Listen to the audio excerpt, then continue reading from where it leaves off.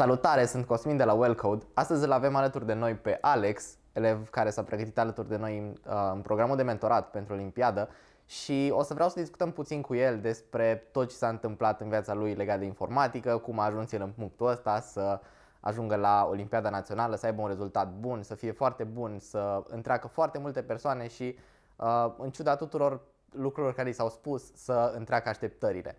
Și Alex, mai multe despre el, uh, vine din București, e un elev care a decis să își dedice foarte mult timp informaticii, să pună asta pe primul loc și să își prioritizeze cariera. Acum, uh, o să las pe el să ne spună mai multe despre cum a apărut informatica în viața lui. Salut, sunt Alex și totul a început prin clasa 8 când uh, am aflat pe YouTube că există acest domeniu, informatica, pentru că uh, la momentul respectiv era o persoană virală care ajunsese să lucreze în California și mi s-a părut super interesant că lucrul acesta e posibil, știi, e realizabil de un român. Și m-am întrebat, ok, dar oare cum a ajuns omul ăsta aici, așa de sus? Și am început să mă interesez mai mult despre el și am aflat că era programator. Uh, ulterior, am uh, căutat foarte mult despre programare, despre informatică, foarte multe informații, dar nu am reușit mai exact să găsesc ce aveam nevoie, nu am reușit să învăț cam nimic relevant și cam acolo s-a încheiat uh, încercarea mea. Apoi am mers la liceu, uh, inițial am fost la un profil uh, uman, la specializarea filologie și acolo am uh, văzut că nu era de mine, nu-mi plăceau foarte mult uh, materiile astea umane, eram cumva o persoană mai realistă și am decis să mă mut la matematică informatică. Ok, Alex, dar cum de n-ai ales din prima informatica? Adică ai avut contact cu ea, ți-a părut interesantă și după cum a dispărut așa de la sine când știai că ai și, ai și oportunitatea asta de a merge la matematică informatică? Ok, păi am avut cumva preconcepția asta că e greu, uh, auzisem de la foarte multe persoane că na, informatica e grea, ai nevoie de foarte multă matematică și uh, nu părea foarte plăcută experiența asta uh-huh. de muncă, așa, pentru că așa eram obișnuit. Și am ales să merg unde e mai ușor. și, na, uh, am văzut că e, a fost des, o alegere destul de proastă să merg pe ce e mai ușor și am învățat că dacă îți dorești ceva mai bine muncești pentru lucrul respectiv și de-aia m-am mutat la profilul de matematică informatică. Bun, și după ce te-ai mutat la matematică informatică, s-a schimbat ceva? Păi, uh, principalul motiv pentru care m-am dus era pen, uh, pentru că voiam să devin programator, pentru că îmi plăcea să stau cumva pe calculator toată ziua, asta am făcut toată viața, mă jucam foarte mult și uh, la momentul respectiv voiam să scriu cod care să creeze jocuri. M-am mutat la matematică informatică și așteptarea mea era că vai, acum o să înceapă uh, nebunia, o să încep să scriu cod toată ziua și o să învăț să fac aplicații și am m-am dus la liceu la ora de informatică și am văzut că făceam uh, informatică pe foaie și asta m-a dezamăgit destul de mult, sincer. Ok, asta în ce clasă era? În clasa 10 Ok, deci în clasa 10 încă făceai informatică pe foaie, ok. Da, în primele luni asta am făcut. Uh, învățasem cumva C++, doar că pe foaie și ne, am, na, învățasem niște noțiuni uh, de bază oarecum și ulterior, după câteva luni, am început să scriem cod și pe calculatoare din laborator. Uh, Ce înseamnă mai exact să scrieți cod? Să facem, să rezolvăm probleme cumva propuse, la care știam deja rezolvarea și asta am făcut. Eu nu mă descurcam prea bine nici cu asta. Ok, deci sistemul era același, că ai niște șabloane exact. și înveți cum să rezolvi niște șabloane și după doar le aplici pe probleme super, super asemănătoare și încerci să te descurci. Și cu toate astea spui că, că nu te descurcai. Și totuși, dacă nu te descurcai, ție îți plăcea în continuare? Uh, e o întrebare foarte bună. Uh, ideea e că eu sunt foarte competitiv și deși nu-mi plăcea la momentul respectiv, uh, am vrut să mă îmbunătățesc și undeva prin noiembrie am vrut să încep să mă pregătesc mai bine. Și am început să caut pe YouTube tutoriale de cum să înveți C++ în 8 ore. Și uh, aia a fost prima mea interacțiune cu ceva legat de informatică în afară de școală. Uh, din tutorialul ăla pot spune că am înțeles destul de bine, adică am înțeles niște concepte de bază, cum faci afișeri pe ecran sau cum citești uh, variabile de la tastatură, CSS și cum funcționează anumite structuri repetitive. Uh-huh. Și după tutorialul ăla eram cam cel mai mult din clasă. Uh, ok, dar destul de sigur că lucrurile astea de fapt le-ai învățat și la școală, cel puțin în teorie, adică ți-au fost predate, corect? Oarecum, da, doar că eu cum nu am fost în clasa nouă, nu le știam. Ok. Și da, materia s-a continuat dintre a 10 doar că eu nu aveam bazele astea puse cum trebuie și nu înțelegeam exact cum funcționează un while, de exemplu. Mm-hmm. Și a trebuit să reiau informația asta, să o caut undeva și am luat-o de pe internet. Ok, deci în câteva ore, cu ajutorul YouTube-ului, ai reușit să devii unul dintre cei mai buni elevi din clasă? Da. Asta e foarte tare. Deci, practic, tot efortul pe care l-au depus ceilalți în atâtea ore de lucru la școală, tu l-ai întrecut în câteva ore. Asta e, asta e genial. Și spune-mi, te rog, cum ai aflat de programul de mentorat? Că la un moment dat a intervenit asta în viața ta. Da, voiam să continui de acolo. Uh, după ce am făcut tutorialul respectiv, uh, mi s-a părut că sunt bun și căutasem probleme de olimpiadă să văd, să caut cumva o confirmare că sunt bun și nu am știut să fac absolut nimic. Nu știam nici măcar să citesc uh, inputul pe tot de la, din problemele respective și am încercat să caut mai multe informații despre asta, căutat foarte mult pe YouTube, uh, programatori, uh, am aflat și de cursul Well Code și a fost o perioadă de cam două luni în care m-am tot concentrat pe găsirea de informații. Inițial căutam doar resurse gratuite ca să pot să mă dezvolt pe gratis, dar ce am observat e că nu aveam niciodată o validare că lucrurile pe care le învățam erau corecte. Ok. Adică, nu știu, învățam să fac ceva, de exemplu în Java, dar nu știam dacă sunt pe direcția bună. Și a, asta m-a încurcat mereu, că nu știam care, urmă, nu știam care sunt pașii ca să ajungi programator neapărat. Învățam din toate direcțiile și uh, nu aveam un drum clar stabilit. Am înțeles. Probabil asta e și motivul pentru care înainte, deși îmi spuneai că scopul era să te pregătești pentru Olimpiadă sau cumva să ajungi să rezolvi da. probleme de Olimpiadă, învățai și Java, da. care nu prea are nicio legătură. Și atunci îmi dau seama că ăsta e motivul pentru care nu ai ajuns la un rezultat concret cu partea asta de resurse gratuite. Dar bănuiesc că ăsta e modul prin care, prin care ai aflat de cursul nostru gratuit, nu? Da. Am intrat, uh, am, mi-am făcut un cont pe Wellcode și am început să rezolv cursul gratuit. Uh, noțiunile din cursul gratuit cumva deja le învățasem de cursul acele câteva luni și mi s-a părut destul de ușor. Uh, apoi am vrut să intru în programul de mentorat și asta a durat, a durat încă vreo două luni până am reușit să-mi conving și părinții să mă lase să intru în programul de mentorat. Am, uh, în alea două luni, uh, în timpul în care nu convingeam părinții, căutam probleme pe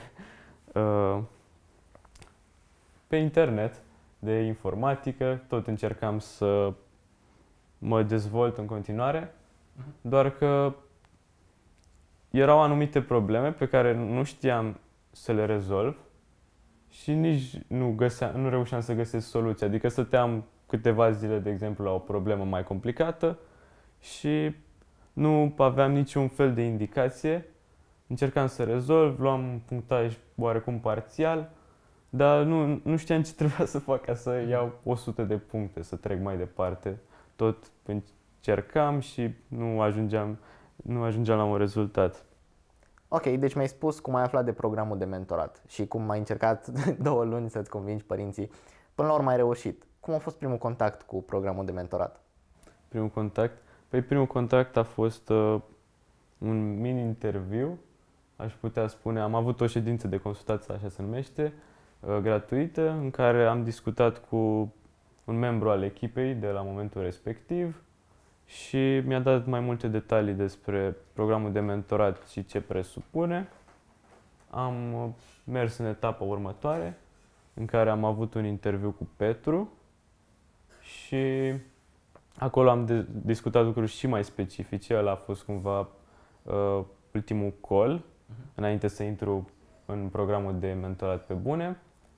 Uh, am avut call acesta cu Petru, în care mi-a spus de Olimpiadă și că asta ar fi cea mai bună idee uh, în drumul meu ca să mă dezvolt cât mai mult. În momentul respectiv, deja îmi pierdusem cumva uh, motivația asta pentru Olimpiadă, voiam mai degrabă să mhm. fac aplicații, dar mi-a spus că pentru viitorul meu și pentru scopul meu, uh, cea mai bună idee era să mă pregătesc pentru Olimpiadă și să-mi dezvolt gândirea logică și pregătindu-mă pentru Olimpiadă, primeam și, aveam și un CV mai bun decât majoritatea celorlalți uh, elevi de vârsta mea, aș putea spune. Uh-huh. Și atunci am acceptat să mă pregătesc pentru Olimpiadă. Uh, am terminat colul, am primit acces pe platformă și în prima seară i-am dat. Uh, am muncit, nu știu, până pe la 1-2 dimineața, de la 8 seara când am avut acolo, eram super entuziasmat că acum aveam validarea aia că e corect ce fac mm. și mă simțeam super bucuros că pot să muncesc. Am muncit, uh, am muncit pe module, am învățat lucruri noi, uh, am interacționat cu mentorii prin comentarii, am cerut code reviews de la tine în principal. Apoi, după ce am terminat platforma, am, a început treaba pe bune, treaba serioasă. Am început să uh, particip în concursuri, să rezolv probleme mai complicate, probleme de olimpiadă și cam ăsta a fost parcursul meu cu informatica. Ok, bun, vreau să ne întoarcem puțin la primul contact cu treaba serioasă. Mi-ai spus că te-ai apucat și în prima, în prima noapte ai lucrat până târziu pentru că erai super entuziasmat. Uh, care au fost, după ce au trecut câteva zile și niște mici dificultăți, pentru că bănuiesc că la un moment dat au fost niște mici obstacole de care ai dat, care a fost uh, diferența de mindset pe care ai descoperit-o? Adică erai pregătit pentru tot ce se întâmpla sau trebuie să te adaptezi? Eram oarecum pregătit, aș spune, pentru că sunt ambițios și na, voiam mereu să devin și mai bun și mai bun și mai bun și mai bun. Și atunci eram cumva pregătit de lucrurile grele, știam că o să am situații mai complicate. Uh, totuși, la un moment dat, uh, avusesem un breakdown așa mic și, din fericire, am avut cu cine să discut pe partea asta de mindset și mi-am dat seama că e total în regulă să nu progresez chiar cum mi-aș dori eu totdeauna. Uh, și m-a ajutat foarte mult colul ăla uh, să mă dezvolt și să înțeleg mai bine cum funcționează lucrurile. Și da, cam atât. Ok, deci erai cumva pregătit, dar a trebuit să și primești ajutor în punctele în care te-ai blocat. Adică au fost momente în care lucrurile chiar au devenit ceva mai complicate și ai avut nevoie de ceva ajutor din exterior. Okay, da. Bun, deci asta a, fost, uh, asta a fost diferența pe partea de mindset pe care tu ai experimentat-o.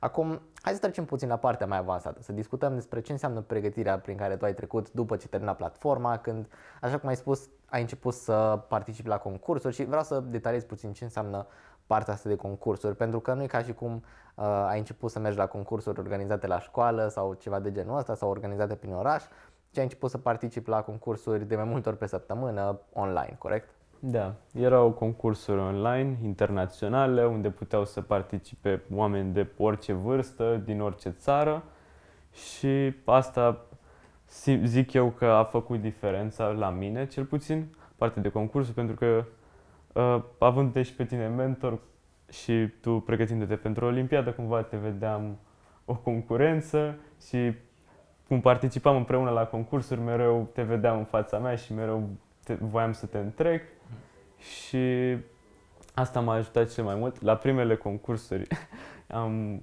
eșuat, aș putea spune, la primele șapte, cred, la care am participat, nu, re- nu reușisem să rezolv nicio problemă. Dar în continuare îmi doream foarte mult să ajung mai bun și am continuat mereu să muncesc, să încerc să ajung mai bun și să și până la urmă uh, am reușit să rezolv o problemă într-un concurs. Mi s-a părut incredibil sentimentul când uh, reușisem să rezolv prima problemă, să văd acolo accepted cu verde în, în, când, când concursul era live. M-am simțit chiar super bucuros și cam așa a funcționat și în continuare. După aia am încercat să rezolv a doua problemă, nu mi-a ieșit în primele X concursuri, dar am muncit în continuare până am reușit să o rezolv. După aia am trecut la a treia problemă și tot așa. Mhm. Ok, super. Deci zici că ți-a plăcut partea de concursuri, partea competitivă la care practic ai avut acces, la, pe care ți-am prezentat-o și care te-a ajutat să evoluezi, corect? Corect. Bun, dar pe lângă asta tu ai rezolvat și destul de multe probleme de olimpiadă, adică efectiv probleme care s-au dat în anii trecuți, probleme, să zicem, asemănătoare de pregătire pentru ele. Uh, pentru că nu poți să sari direct în problemele de Olimpiadă Națională sau județeană, înainte ai făcut niște alte probleme de încălzire, nu? Da, am făcut cumva niște probleme pregătitoare uh, care îți dezvoltau mintea în așa fel încât să poți să înțelegi ce puțin enunță de la problemele alea complicate de Olimpiadă și uh, au fost destul de multe și pe partea aia, destul de multe probleme uh, pregătitoare. Ce înseamnă destul de multe? Hai să dăm un, un număr așa minim. 150 uh, sau ceva de genul. Peste 100 erau 100, sunt sigur că erau peste 100. Bun, deci după atât de multe concursuri, atât de multe probleme rezolvate, cred că dacă ar fi să le însumăm, cred că ai către 1000 de probleme rezolvate, dacă nu peste. Um, și, așa cum ai spus, au fost dificultăți în diferite momente. Încă era plăcut să te pregătești pentru Olimpiadă? Uh, de, să știi că e o întrebare foarte bună.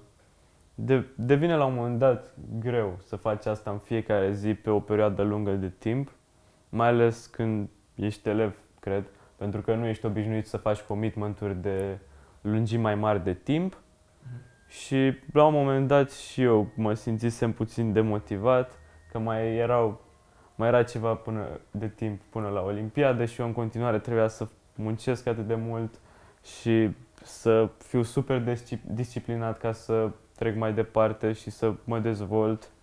Și aici am avut nevoie de uh, ajutor pe partea de mindset, special de la tine, pentru că mereu mi-ai dat indicații bune în direcția asta și m-ai ținut cumva motivat, plus că mai aveam și motivația mea internă că voiam să te întrec și aș, astfel de fiecare dată când îmi dădeai în sfat, încercam să-l valorific la maxim ca să pot să mă apropii și mai mult de tine la nivelul de programare.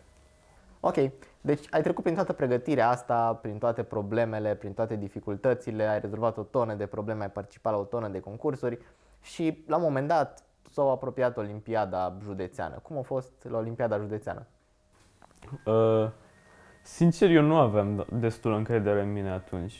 Nu, nu credeam, sincer, că o să mă calific neapărat la națională. Era și primul concurs unde uh, chiar conta foarte mult rezultatul pentru mine, pentru că uh, mă pregătisem un an pentru momentul respectiv și aveam emoții și nu aveam destul încredere în mine. O secundă, vreau să facem o paranteză aici. Când spui că te-ai pregătit un an și înainte spuneai că te-ai pregătit zi de zi, poți să ne spui cât anume ai muncit tu săptămână de săptămână? Adică care e numărul ah. de ore pe care tu l-ai investit în toată pregătirea ta? Uh, da, am calculat și numărul fix la un moment dat, fix după un an. Am avut 1600, peste 1600 de ore lucrate la informatică și pe săptămână e undeva la 33 sau ceva de genul de mhm. ore lucrate pe săptămână. Ok. Bun. S-a apropiat județeana și așa cum bănuiesc că o înțeles toată lumea, a reușit să te califici la națională. Cum a fost momentul ăla în care ai văzut rezultatul și... mi, s-a, mi s-a părut incredibil, sincer. Și am realizat atunci că e neapărat nevoie să am mai mare încredere în mine, că pot Și na, aia a fost o validare că pot și o motivație să continui, să continui să muncesc. Uh-huh. Ok. Și după ce a venit momentul ăsta de bucurie, cred că ai realizat că trebuie să tragi și mai tare în următoarea perioadă pentru că urmează naționala, corect? Exact. Cum a fost perioada aia înainte de națională? Sincer, perioada aia mi-a plăcut cel mai mult din tot programul de mentorat pentru că noi la Wellcode am făcut un fel de bootcamp în care ne-am întâlnit uh, toți elevii de la națională în fiecare zi, zi de zi uh, și lucram probleme, uh, făceam simulări de olimpiade din trecut, iar după simulările respective discutam cum am mers la fiecare și uh, atunci parcă a fost prima oară în care nu m-am mai simțit singur în asta. Știi, vedeam alți elevi că erau fix în aceeași situație cu mine și uh, de-aia mi s-a părut cea mai frumoasă perioadă din programul de mentorat și o experiență pe care nu o să o uit niciodată. Asta mi-a plăcut cel mai mult. Super, mă bucur că ți-a plăcut perioada asta. Acum, hai să vorbim puțin despre națională, că rezultatul tău acolo a fost unul bun, adică tu te-ai calificat în prima jumătate dintre, dintre toți elevii care au participat, corect? Corect. Bun, și cum s-a părut naționala după tot efortul pe care l-ai investit, după un an de muncă intensă cu 30 de ore pe săptămână în medie, um, asta înseamnă practic fără pauze, dacă ai fi muncit săptămână de săptămână, ai fost 30 ceva de ore. Cum, cum a fost? Uh, Olimpiada Națională a fost următorul nivel, adică erau probleme complicate, doar că mă obișnuisem din bootcamp-ul respectiv să mă gândesc atât de mult, pentru că durează 4 ore sau ceva de genul și trebuia să fiu antrenat să pot să mă gândesc atât de mult, 4 ore la probleme de algoritmică. Din fericire am fost antrenat și m-am descurcat să stau atât de mult să mă concentrez. Uh, și de la județeană, pentru că trecusem cumva, am crescuse încrederea în mine și știam că o să pot să am un rezultat cel, bunicel. Și na, cu încrederea asta am reușit să mă concentrez și să am un rezultat ok. Bun, deci acum că ai Olimpiada în CV și poți spune că ți-ai atins primul obiectiv, care e următorul pas? Următorul pas e să am uh, un rezultat și mai bun la Olimpiadă anul viitor, pentru că e bine să ai în CV că ai fost olimpic în clasa 11 dar e și mai atrăgător să vadă că în clasa 12 ai avut un rezultat și mai bun. Și scopul meu e să iau medalie la Olimpiada Națională din următorul an. Mm-hmm. Super. Și după ce iei și medalia asta, pentru că îți convins că o să se întâmple cu, cu ritmul în care muncești, uh, care e pasul următor? Adică după toată pregătirea asta, după cum te-ai dezvoltat pe partea de mindset, de disciplină și așa mai departe, ce o să faci cu toate abilitățile astea? Păi, uh, după liceu, scopul meu este să merg la internship în New York la Google sau la Facebook și o să am nevoie de toată pregătirea asta, de toate abilitățile pe care le-am dobândit ca să pot să trec de interviu, deoarece interviu tehnic de la FANG e puțin mai ușor decât o, o problemă de olimpiadă și atunci pregătindu-mă pentru Olimpiadă, m-am pregătit cumva indirect pentru interviul de la Google, care era scopul meu principal. Uh, o să merg la o facultate ca să pot să primesc internship și după ce primesc return offer la o firmă de genul, uh, vreau să rămân acolo pentru un an, doi, iar apoi vreau să trec pe partea de freelancing și să călătoresc prin toată lumea. Cam asta, asta vreau să fac. Ok, deci toată pregătirea asta, toată munca pe care tu o investești pe termen scurt și putem vorbi, cred, chiar de termen mediu, pentru că încă e o perioadă de învățare în următorii ani. Așa cum ai spus, ai o olimpiadă încă la care trebuie să participi, după ai niște interviuri la Google și la toate companiile de top din afară.